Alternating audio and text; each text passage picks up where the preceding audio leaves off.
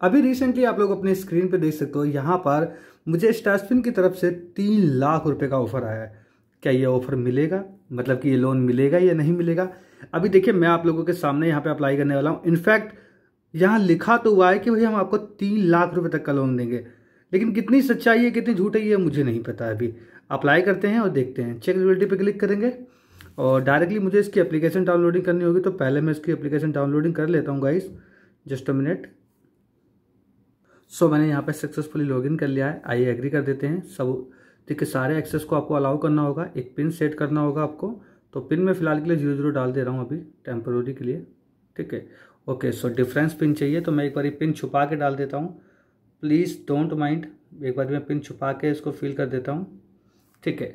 उसके बाद यहाँ पे कुछ टर्म और कंडीशन इनको आई एक्सेप्ट कर लेते हैं। ठीक है साफ़ साफ़ आप लोग अपने ऑफ़र पे देख सकते हो। Finish your loan application Aadhaar card, PAN card और लिमिट आपकी अनब्लॉक हो जाएगी, ठीक है?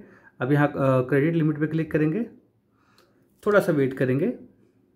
अब यहाँ पे हमें आधार ई के वाई सी करना होगा तो कंप्लीट ई के वाई सी पे हम क्लिक करते हैं।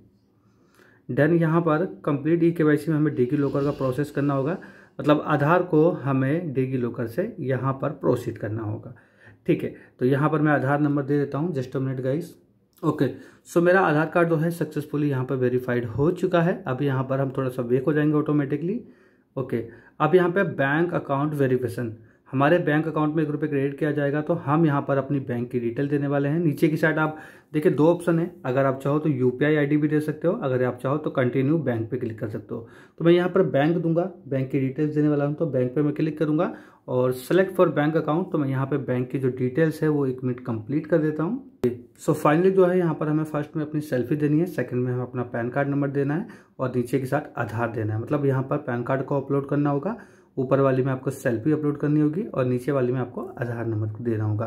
तो ये प्रोसेस भी जो है मैं कंप्लीट करता हूँ जस्ट अ मिनट गाइस अब देखिए यहाँ पर ना बोला जा रहा है कि अपलोड योर बैंक स्टेटमेंट देखिए कंपलसरी है कि आप बैंक स्टेटमेंट अपलोड कर दीजिएगा। अब यहाँ पर मुझे बैंक स्टेटमेंट देना है तो ये मैं प्रोसेस नेट बैंकिंग से करने वाला हूँ। यहाँ पे साफ़ साफ़ मेंशन है click if your bank account not listed अगर आपका बैंक अकाउंट लिस्टेड नहीं है तो नीचे की साइड आप क्लिक करके इसे प्रोसीड कर सकते हो। फ़िलहाल के दोस्तों, मैं यहाँ पर अपने जो बैंक स्टेटमेंट है, वो अपलोड करने वाला हूँ। मतलब ऑलमोस्ट जो है सारी प्रोफ़ाइल इसके बाद कंप्लीट हो जाएगी लास्ट लास्ट प्रोसेस रहेगा ई मनी डेट का। देन ई मनी डेट का जो प्रोसेस है, वो मैं कंप्लीट कर लूँगा। इसके बाद ही आएगा, मुझे पता है। एंड उसके बाद एप्लीकेशन अंडर रिव्यू चली जाएगी। अब मैं आपको दूसरी वीडियो दूँगा पार्ट टू जब मुझे फाइनली अप्रूवल मिल जाएगा स्टेस पिन में। और जैसे ही मुझे अप्रूवल मिलता है तो मैं इसकी पार्ट टू वीडियो आप लोगों के साथ ज़रूर शेयर करूँगा।